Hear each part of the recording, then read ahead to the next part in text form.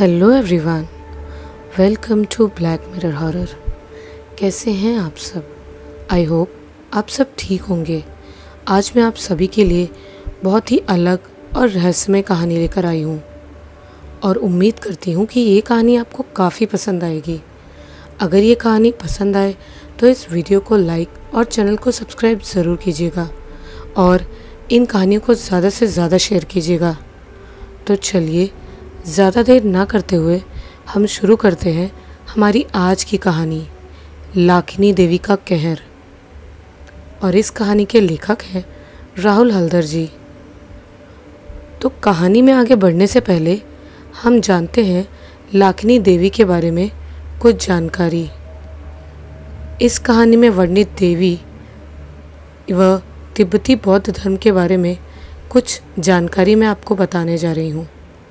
तिब्बत। इस नाम को सुनकर पहले क्या दिमाग में आता है? भारत के उत्तर में ऊँचे ऊँची पर्वतमालाओं की गोद में अति सुंदर एक स्वप्न का देश, जिसे द फॉरबिडन लैंड भी कहते हैं। इस देश ने अपने सीने में बहुत सारे रहस्य को छुपा कर रखा है। इस रहस्यमय देश में धर्म भी बहुत ही रहस्यमय है। सचमुच, तिब्बती बौद्ध धर्म या वज्रयान बौद्ध धर्म के जैसा पहेली रूपी धर्म विश्व में बहुत कम ही है। बौद्ध धर्म के साथ तंत्र के देव देवियों का एक आश्चर्य गठबंधन है। वज्रयान से संबंधित देव देवी की चित्र या पट आपको आश्चर्य कर देंगे। तारा, अवलोकितेश्वर, जंबल, मंजुश्री जैसे शांत सौम्य दर्शन देव देवी पासी हेरुक वज्र योगिनी वज्रवाराही और यमंतक जैसे भयानक दर्शन वाले देव देवी भी हैं। जिनकी मूर्ति वो चित्र देखकर ही शरीर में डर का प्रवाह हो जाता है। हिंदू धर्म की तरह वज्रयान में भी बहुत सारे डाकिनी, प्रेत, पिशाच, यक्ष तथा अब देवता व अब देवियाँ भी हैं। ये नर्क, अंधेरे जगत या शायद हमारे पृथ्वी पर ही वास करते हैं। इनको साधना करके जगाने की पद्धति बहुत ही गुप्त व भयंकर है। बौद्ध धर्म उत्तर प्रदेश के कुछ क्षेत्र, बिहार, बंगाल, असम का एक प्राचीन धर्म है, जो बाद में दो मूल धारा महायान व हीनयान में बढ़ गया। इसमें तिब्बती बौद्ध धर्म हिमालय के पास स्थित विशेष कुछ स्थानों का बौद्ध धर्म है, जिसमें मूलतः तिब्बत, भूटान, सिक्किम व लद्दाख के साथ उत्तर पूर्व चीन के कुछ अंश के लोग शामिल हैं। तिब्बती बौद्ध धर्म को वज्रयान भी कहा जाता है। तिब्बती बौद्ध धर्म में विभिन्न प्रकार की धारा में सभी का अपना मत है, लेकिन ये विशेषतः चार भागों में विभाजित है, जो कि शाक्य, कग्यु, निंगम्मा तथा गेलुग है। यही चार परंपराएँ ही इस तिब्बती बौद्ध धर्म की चर्चा करते हैं। बौद्ध तंत्र मंत्र में सृष्टि की आदि व उत्पत्ति शून्य है। इसी शून्य को वज्रयान में वज्र कहा जाता है। बौद्ध धर्म की सभी धाराएँ, यही तीन धारा, अर्थात महायान, हीनयान व वज्रयान की शिक्षा प्राप्त करते चले आ रहे हैं। लेकिन कभी कभी इन संप्रदायों में बहुत निम्न तंत्र क्रिया भी देखा जा सकता है। उसी में एक भयंकर व सर्वनाशिनी तंत्र का उल्लेख भी मिलता है, जो निगम्मा संप्रदाय मानते हैं। अति गुप्त इस तंत्र साधना की मूल आराध्य देवी देवी लाकिनी है। ऐसा भी कहा जाता है कि सभी प्रकार के असंभव कार्य को संभव करने के लिए इस देवी की आराधना की जाती है, लेकिन उसके लिए एक से अधिक प्राण की बलि देनी पड़ती है। तो ये थी थोड़ी जानकारी बौद्ध धर्म और देवी लाकिनी के बारे में। आइए अब बढ़ते हैं हमारी आज की कहानी की ओर। नालंदा महाविहार 1812 ईस्वी पूर्व, ठंड भरी रात। सरोवर के पूर्व तरफ़ के छात्रावास में चारों तरफ़ सन्नाटा है। सभी सो रहे हैं। केवल इतनी रात को नींद छोड़कर बिस्तर पर कोई एक जाग रहा है। इस छात्रावास का सबसे मेधावी भिक्षुक यशभद्र। अंधेरे में ही वो बिस्तर को छोड़कर नीचे उतर आया तथा अंदाजे से समझ गया कि पास ही सोए दो सहपाठी श्री गुप्त व सिद्धार्थ गहरी नींद में हैं। बहुत दिनों के अभ्यास के कारण अंधेरे में ही एक कोने से यशभद्र ने एक छोटे संदूक को खींचकर निकाला तथा धीरे से उसे खोला। संदूक के अंदर से एक शीतल हरा हरा रोशनी निकल रहा है, लेकिन वो हल्के हरे रंग की रोशनी स्थिर नहीं है। उसका अपना स्पंदन है।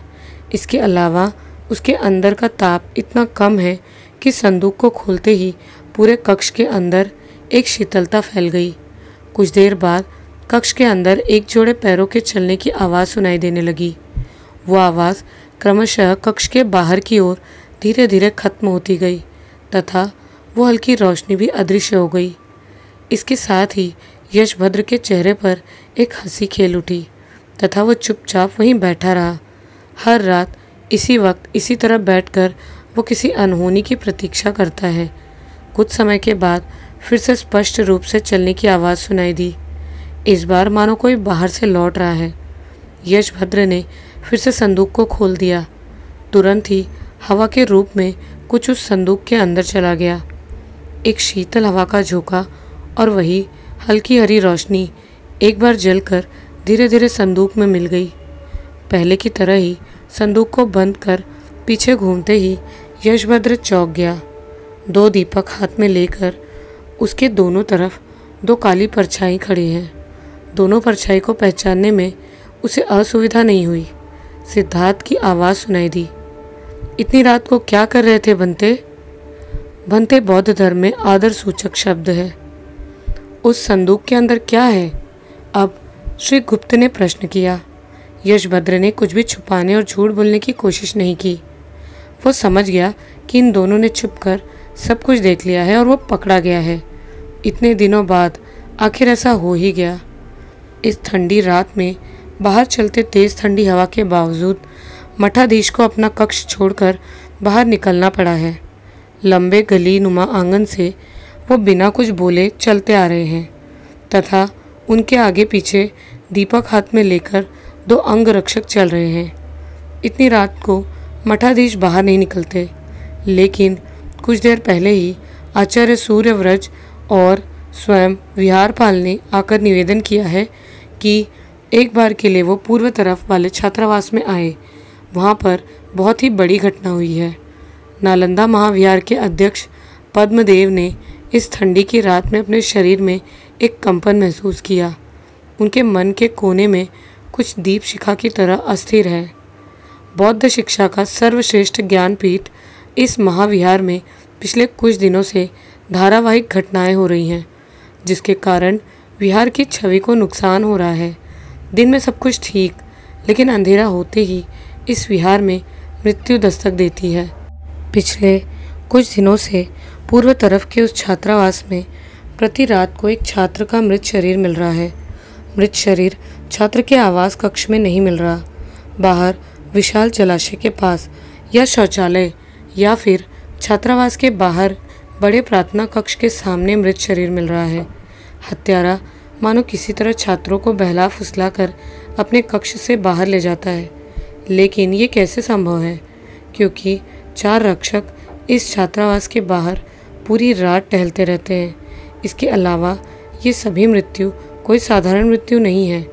मानो किसी ने उनके शरीर से पूरे खून को चूस कर केवल हड्डी, मांस का शरीर फेंक दिया है। इससे भी ज़्यादा भयानक बात यह है कि सभी शरीर को मानो किसी मंत्र द्वारा अपने वश में कर लिया है। मृत छात्र का पूरा शरीर किसी पत्थर की तरह सख्त, नीला और बर्फ़ की तरह ठंडा मिलता। शायद मौत के अगले दिन ही मासूम भिक्षुक की लाश मिली। लेकिन मौत के कुछ समय बाद ही शरीर की ऐसी अवस्था नहीं हो सकती। मानो उनके शरीर में किसी ने कई नागों का जहर डाल दिया है। बिना कारण इन अहिंसक बौद्ध भिक्षुओं को कोई इस तरह क्यों हत्या करेगा? और इसके अलावा, विहार के अंदर किसी बाहरी का आना मना है। इसीलिए ये बात साफ़ है कि विहार के अंदर ही हत्यारा छुपा हुआ है। या फिर छात्रावास के अंदर ही कोई इन सभी हत्याओं का कारण है?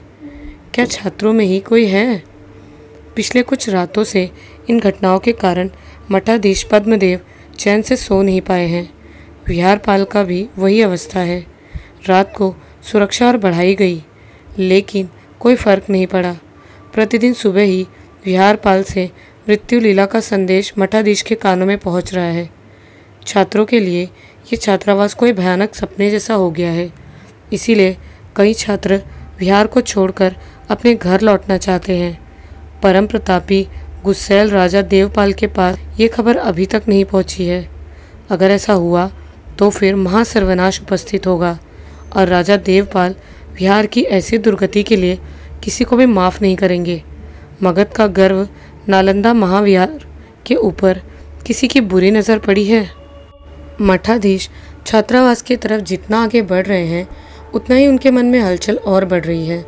इस कोहरे में भी वो स्पष्ट देख सकते हैं कि छात्रावास के बाहर आँगन में भिक्षुओं ने भीड़ लगा रखी है। उनके वहाँ पहुँचते ही भिक्षुओं की भीड़ दो भागों में बंटकर उन्हें अंदर जाने, कक्ष में जाने का रास्ता देने लगे, तथा वहाँ उपस्थित सभी ने उन्हें झुककर अभिवादन किया। केवल एक ने ऐसा नहीं किया। कक्ष के कोने में वो पहले से ही सिर झुकाकर खड़ा है। अब आचार्य सूर्यव्रत आगे आए और कक्ष के कोने में खड़े मासूम भिक्षुक की ओर इशारा करते हुए बोले, धर्माध्यक्ष, यही वो व्यक्ति है जिसके कारण नालंदा महाविहार की छवि पर कालिक लगी है। इसके कारण ही इस पवित्र ज्ञान पीठ में हत्या लीला चल रही है। यही है वो भिक्षुक यशभद्र मठाधीश ने स्थिर दृष्टि से आचार्य सूर्यव्रज की ओर देखा। आचार्य, आप ये बात इतने आत्मविश्वास से कैसे कह सकते हैं? आचार्य सूर्यव्रज ने उतने ही शांत स्वभाव से उत्तर दिया। धर्मनिधि, मैं पूरे प्रमाण को लेकर ही ये बात कह रहा हूँ। मेरा संदेह यही था, जब से ये हत्याएँ शुरू हुई है, तब से इस भिक्षुक के अंदर मैंने कुछ परिवर्तन होते देखा है। वो प्रार्थना के वक्त प्रार्थना कक्ष में दिखाई नहीं देता, तथा इनके सहपाठियों ने मुझे आकर बताया था कि यह भिक्षुक अपने कक्ष से ही बाहर नहीं निकलता। इसके अलावा भी ये सबसे मेधावी व मिलनसार रूप में परिचित है। अचानक इस बदलाव के कारण ये सबकी संदेह नज़र में थे। इसीलिए आज मैंने इनके कक्ष के दो सहपाठी को उस पर चुपचाप नज़र रखने के लिए कहा था। इसके अलावा, मैं स्वयं व विहारपाल रात्रि जागरण कर रहे थे। ये दो भिक्षुक, श्री गुप्त व सिद्धार्थ ने मुझे आकर ये सब बताया। धर्मनिधि, इन्होंने क्या देखा है, मैं सब कुछ जानता हूँ, एवं आपको भी ये जानना चाहिए। गंभीर होकर गर्दन को सीधा करके मठाधीश पद्मदेव ने सब कुछ सुना। आचार्य सूर्यव्रज की ओर देखकर उन्होंने फिर प्रश्न किया, लेकिन आचार्य, इस घटना से ये कैसे प्रमाणित होता है कि यह भिक्षु की महाविहार में प्रति रात के मृत्यु लीला का कारण है? प्रमाण होगा धर्मनिधि. आचार्य के चेहरे का आत्मविश्वास झलक उठा। आपके सामने ही ये रहस्य खुलेगा, देखिए। थोड़ा पीछे होकर आचार्य सूर्यव्रज द्वारा दो बार ताली बजाते ही तुरंत ही दो अंगरक्षक ने जाकर यशभद्र के पीछे रखा संदूक को खोला। कई सारे कौतूहल चेहरे उस संदूक की ओर झुक पड़े। उन सभी को हटाकर आचार्य सूर्यव्रज ने उस संदूक के अंदर देखा तथा न जाने क्या देखकर काँप उठे और फिर उस संदूक से लाल कपड़े में मुड़ा हुआ न जाने क्या लेकर मठाधीश के सामने गए। दो अंगरक्षक के हाथ में पकड़े दिए की रोशनी में मठाधीश ने उस वस्तु को चारों तरफ़ से ध्यान से देखा। इसके बाद आचार्य की ओर देखते ही उन्होंने लगभग कान के पास मुँह ले जाकर धीमी आवाज़ में बोले लाकिनी मठाधीश पद्मदेव आतंक से भयभीत हो गए। फिर उन्होंने खुद को संभाल कर क्रोध नज़रों से यशभद्र की ओर देखा। मठाधीश पद्मदेव का परिचय शांत स्थिर, संयम रूप है, लेकिन आज उनके कंठ से क्रोध की ज्वाला फूट पड़ी। किस उद्देश्य से, किस साहस से इस नालंदा महाविहार में बैठकर भनते तुमने इस भयंकर साधना को चुना है। यशभद्र ने कुछ भी छुपाने की कोशिश नहीं की। सिर उठाकर उसने संक्षिप्त उत्तर दिया, प्रज्ञा पारमिता सूत्र। इन तीन अक्षरों को सुनकर कक्ष के अंदर हल्का कोलाहल शुरू हो गया। सूर्यव्रत के साथ ही बाकी आचार्य भी कठोर दृष्टि से यशभद्र की ओर देख रहे हैं। आखिर वो कहना क्या चाहता है? स्वयं मठाधीश भी आश्चर्य हो गए हैं। आचार्य सूर्यव्रत गरज पड़े, मूर्ख! वो क्या चाहने से ही मिल जाएगा? महायान, बौद्ध धर्म का सबसे पवित्र, उस पोथी को भी क्या पढ़, सभी पढ़ सकते हैं? उस पोथी को पढ़ने से विश्व के सभी ज्ञान का भंडार उस व्यक्ति के अंदर समाहित हो जाएगा। तुम्हारे अंदर इतना लोभ? यशभद्र ने धीमी आवाज़ में जवाब दिया, लेकिन आचार्य, मेरे ज्ञान की भूख बहुत ही प्रबल हो गई है। इसीलिए तो जब से मुझे पता चला कि उत्तर के रत्नोदति ग्रंथालय में उस दुर्लभ पोथी को रखा गया है। तब से मैं उसे पाने की कोशिश में लगा हुआ हूँ। ग्रंथालय के सभी कक्ष को खोजा, पर कहीं भी नहीं मिला। आचार्य सूर्यव्रज बोले, तुम्हें क्या लगता है कि इतनी आसानी से सभी के लिए देवी प्रज्ञा पारमिता के ज्ञान का भंडार रख दिया जाएगा? आचार्य इसी कारण से मुझे यह पद चुनना पड़ा। मैं समझ गया था कि सभी से छुपाकर वो पोथी रखी गई, और महाविहार के कुछ गिने चुने लोगों के अलावा किसी साधारण मनुष्य के लिए उसे खोज निकालना संभव नहीं है। आचार्य के धैर्य का बाँध टूट गया।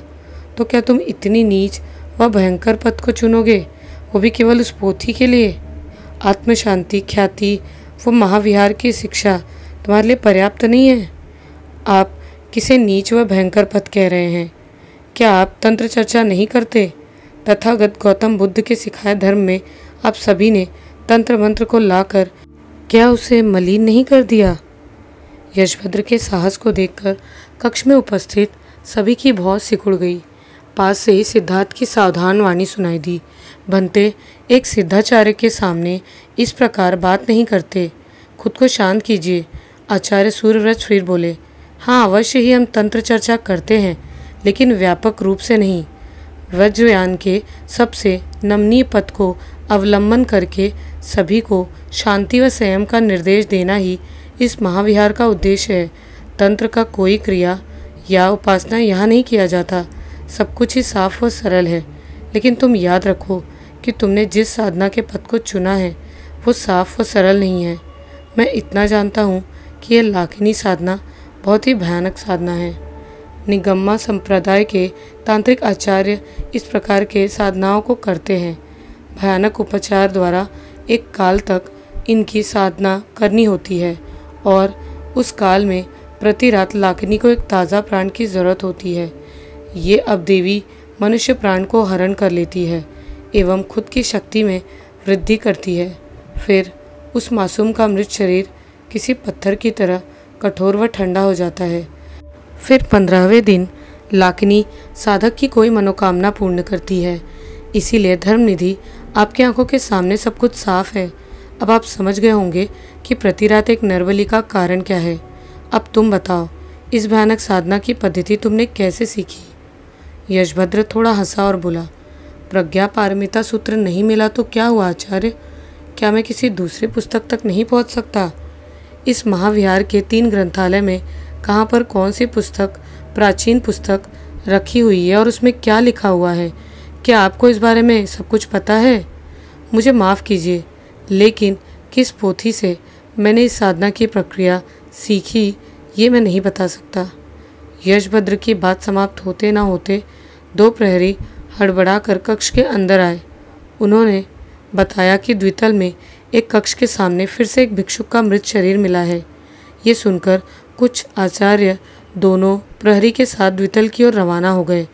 गुस्से से सिद्धाचार्य सूर्यव्रज लाल हो गए हैं। कक्ष के अंदर सभी की क्रोधित दृष्टि यशभद्र के ऊपर है। एक बौद्ध सन्यासी भी ऐसा निर्दय व स्वार्थी हो सकता है। धर्मनिधि, आदेश दीजिए, मैं अभी इस पापी को महाविहार के बाहर भेजने की व्यवस्था करता हूँ। ये भिक्षुक यहाँ पर एक मुहूर्त भी रहने लायक नहीं है। अब यशभद्र की ओर देखकर मठाधीश बोले, हम सभी बौद्ध धर्म से जुड़े हैं अहिंसा व संयम के लिए हमें ख्याति प्राप्त है। इसीलिए आज तुम इतना तुच्छ अपराध करने के बाद भी सभी के सामने खड़े होकर बात करने का साहस कर पा रहे हो। क्या एक बार के लिए भी तुमने महाविहार के गौरव की बात को नहीं सोचा?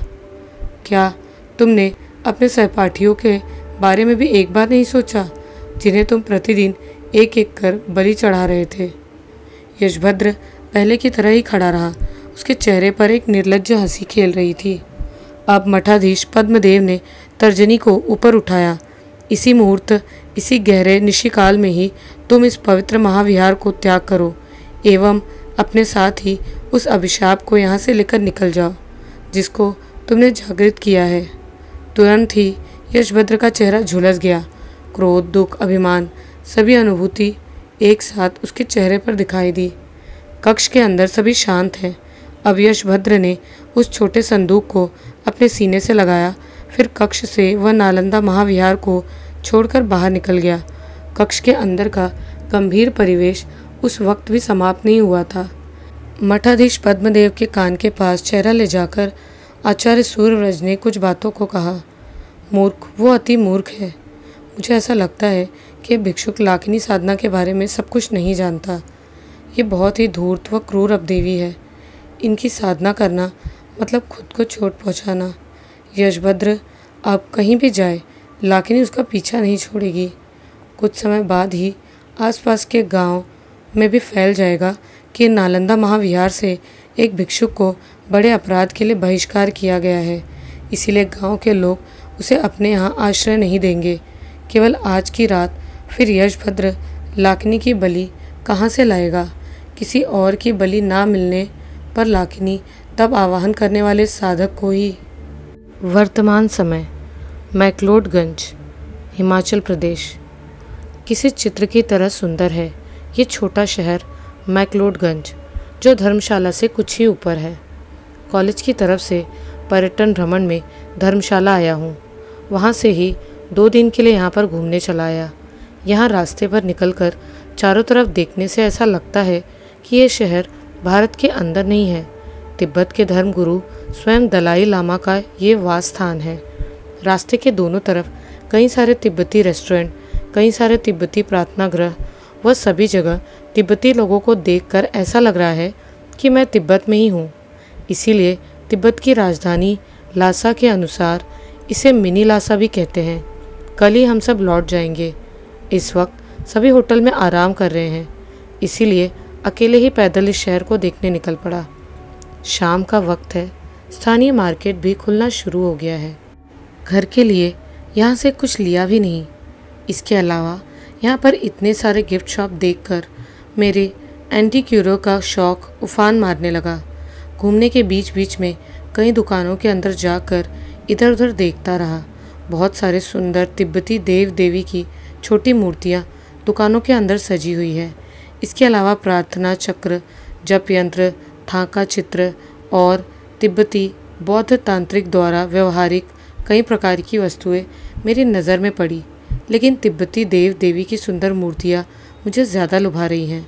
इतना डिटेल्ड और सुशोभित मूर्तियाँ जल्दी देखने को नहीं मिलती। जिन्होंने भी इन मूर्तियों को बनाया होगा, उसकी हस्तकला देखने लायक है।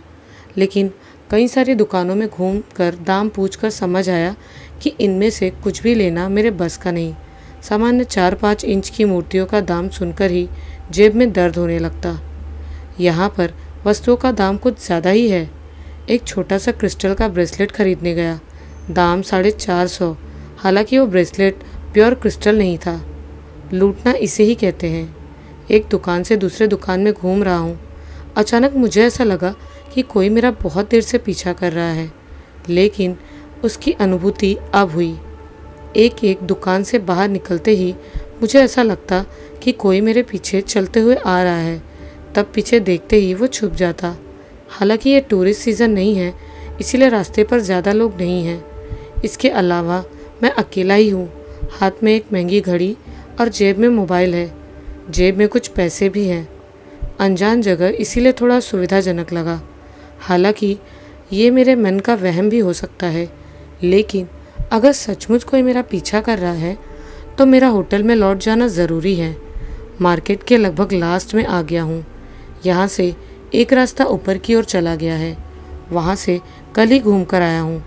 बड़े बड़े पाइन के पेड़ों के पीछे का वो जगह बहुत ही सुनसान है।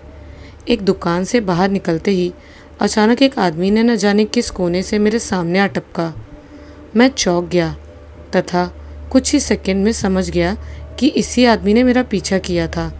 लेकिन किस उद्देश्य से, ये मुझे पता नहीं। तब तक शाम का हल्का अंधेरा चारों तरफ़ छा चुका था। पहाड़ों पर बहुत ही जल्दी शाम हो जाती है। वो आदमी मुझसे एक हाथ दूर कंधे पर एक झोला व मैला विंडशीटर पहने खड़ा है। स्पष्ट चेहरा नहीं दिख रहा है, लेकिन समझा जा सकता था कि वो स्थानीय आदमी है। मेरे कुछ पूछने से पहले ही उस आदमी ने एक अजीब आवाज़ में मुझसे पूछा, सब कुछ बहुत महँगा है ना भाई साहब? इस प्रश्न को सुनकर मैं चौंक गया। मैं बोला मतलब? नहीं, कुछ नहीं। मैं बहुत देर से देख रहा हूँ कि आप एक दुकान से दूसरी दुकान केवल घूम रहे हैं, लेकिन कुछ खरीद नहीं रहे हैं। अब परेशान होकर मैंने प्रश्न किया तो उससे आपको क्या दिक्कत? रुकिए, मेरे पास कुछ है। क्या आप खरीदना चाहोगे? कोई बात नहीं। एक बार देख तो लीजिए। अब मैं और भी आश्चर्य हुआ। क्या केवल इसीलिए इतनी देर से यह आदमी मेरा पीछा कर रहा था? आखिर वो चाहता क्या है? दूसरी तरफ़ की दुकान से हल्की रोशनी उस आदमी के चेहरे पर पड़ रही है। बहुत ही मासूम चेहरा, दोनों आँखें विचलित, बहुत दिनों की ना बनाई हुई दाढ़ी मूछ की रेखा। शरीर में दरिद्रता स्पष्ट है, तथा मानो वो आदमी बहुत ही परेशानी में है। मैं बोला क्या है? जल्दी दिखाओ। उस आदमी के साथ खड़ा रहने में मुझे घुटन सी महसूस हो रही थी। उस आदमी ने अपने कंधे के झोले से कुछ बाहर निकाला तथा उसे मेरे सामने आगे बढ़ाया। लाल कपड़े से मुड़ा हुआ कुछ है। मैंने ध्यान दिया कि उस आदमी की आँख जिज्ञासु दृष्टि से मेरी ओर फैली हुई है। क्या है ये? अब उस आदमी ने लाल कपड़े को खोला। उसमें एक चार पाँच इंच की मूर्ति दिखाई दी। कुछ देर पहले ही दुकानों में मैं जिन मूर्तियों के दाम पूछ रहा था, ये भी उसी तरह की है, लेकिन उनसे बहुत ही ज़्यादा सुंदर व प्रोमिनेंट है। अब उस आदमी ने पूछा, पसंद आई? आपको कुछ ऐसी वस्तु चाहिए थी ना? इसका मतलब है कि मैंने दुकानों के अंदर क्या किया, इस बारे में भी उस आदमी ने ध्यान दिया है। बहुत ही धुरंधर लगता है। जो भी हो, मूर्ति को सुंदर ना बोलने की कोई वजह ही नहीं है। उस मूर्ति की सुंदरता ने मुझे मोह लिया है। हालाँकि, मूर्ति के शरीर का हल्का सफ़ेद परत बता रहा है कि मूर्ति की उम्र कई सौ साल तो अवश्य होगी, लेकिन मूर्ति का सभी कोना स्पष्ट है। उस आदमी ने मेरी तरफ़ देखते हुए विनती के स्वर में बोला, ले लीजिए ना साहब, आपको जो कीमत अच्छी लगे, आप दे दीजिएगा, कोई ज़बरदस्ती नहीं। उस आदमी को देखकर मुझे थोड़ा कष्ट हुआ। गरीब आदमी है और शायद पैसों की ज़रूरत है, इसलिए घर की कीमती चीज़ बेचकर कुछ पैसे पाना चाहता है। मैंने मूर्ति को हाथ में लिया। वो मूर्ति अच्छी खासी भारी थी। उस आदमी ने फिर बोला पंच धातु की है साहब। ये पाल वंश के समय की मूर्ति है। इसे घर में रखिए, आपका भला होगा। पाल वंश के समय की? वाह, ये तो खजाना है। बौद्ध धर्म के देव देवियों के बारे में मेरा ज्ञान नर्सरी के बच्चे जितना ही है। और ज़्यादा समय व्यतीत ना करते हुए उस मूर्ति को ले लिया। इधर उधर करने से कोई लाभ नहीं। दुकानों में जो दाम बता रहे थे, वो मेरे जेब से बाहर है। इसी वक्त एक आश्चर्य घटना घटी। मैं अपने पर्स से तीन सौ सौ के नोट निकाल कर उस आदमी के हाथों में देने वाला था कि अचानक मैंने देखा कि वह आदमी मेरे सामने से कुछ दूरी पर जाकर भाग गया। दौड़ते हुए मार्केट को पार कर सामने के बड़े रास्ते से न जाने कहाँ गायब हो गया। मैं आश्चर्य से नोट हाथ में पकड़े खड़ा रहा। आखिर ऐसा क्यों? इतनी महँगी एक मूर्ति दी, लेकिन पैसा देते वक्त भाग क्यों गया? कुछ देर ऐसे ही खड़े रहने के बाद मैंने इस बात को दिमाग से बाहर निकाल दिया। शायद कोई पागल था, उसकी बातें ही पागलों जैसी थी। मुझे पहले ही समझ जाना चाहिए था। जो भी हो, उसके पागलपन में मुझे एक ज़बरदस्त सामान फ्री में मिल गया। इस मूर्ति का वर्तमान बाज़ार कीमत बहुत ही ज़्यादा है। मेरे बेडरूम में ये मूर्ति बहुत ही अच्छी सुशोभित होगी। यही सोचते हुए होटल की तरफ़ चल पड़ा। होटल में लौटकर इस घटना के बारे में किसी को नहीं बताया। इतनी महँगी एक मूर्ति अगर दोस्तों को इसकी खबर दे दी तो क्या पता कल सुबह उठते ही ये मेरे बैग से गायब रहे। रात में जब सभी खाने चले गए, तब अकेले कमरे में बैठकर लाल कपड़े को खोल उस मूर्ति को अच्छे से देखा। एक देवी मूर्ति दिखने में सुंदरता के साथ भयानक भी है। देवी पूरी तरह नग्न नहीं, लेकिन अलंकार से सुशोभित। एक पैर ज़मीन पर और एक नृत्य मुद्रा में ऊपर उठाकर खड़ी है। एक तो पैर के नीचे एक बच्चे की तरह कुछ लेटा हुआ है। गले में एक मुंड माला सुशोभित है। एक हाथ में कटोरी जैसा कुछ पकड़ा है। उसमें से आग जल रही है। दूसरे हाथ में घंटी जैसा जो पकड़ा है, उसे मैंने कुछ देर पहले ही दुकान में देखा था। इसे तिब्बती बौद्ध वज्र कहते हैं। उल्लेखनीय बात यह है कि मूर्ति के तीन सिर हैं तथा तीनों के मुँह से दो बड़े दांत निकले हुए हैं। प्रत्येक के सिर पर एक विशिष्ट मुकुट है तथा उसमें नरमुंड बना हुआ है। मूर्ति को देखकर मन के अंदर भक्ति से ज़्यादा डर का संचार होता है। जो भी हो, मैं कौन सा इसे ले जाकर पूजा करूँगा? कमरे के एक कोने में पड़ी रहेगी। अब उठना होगा। खाने के बाद बहुत सारा काम है। अभी बैग पैकिंग करना है, क्योंकि कल लखनऊ लौटना होगा। क्या होगा आगे? किसकी थी वो मूर्ति? और वो आदमी इस तरह से मूर्ति देकर क्यों भागा? क्या वो सच में पागल था? या ये मूर्ति किसी को देने के पीछे कोई रहस्य था? या कोई कारण शामिल था? और ये मूर्ति लेने के बाद क्या उस आदमी पर कोई घातक परिणाम होने वाले थे? या ये सिर्फ़ एक महज इत्तेफाक था? ये सब जानेंगे हम इस कहानी के अगले यानी दूसरे भाग में, जो कि मैं आप सभी के लिए बहुत जल्द ही लेकर आऊँगी। यहाँ तक आपको कहानी कैसी लगी, हमें कमेंट्स में ज़रूर बताइएगा। मिलती हूँ इस कहानी के दूसरे और अगले भाग के साथ बहुत जल्द। जय माँ काली।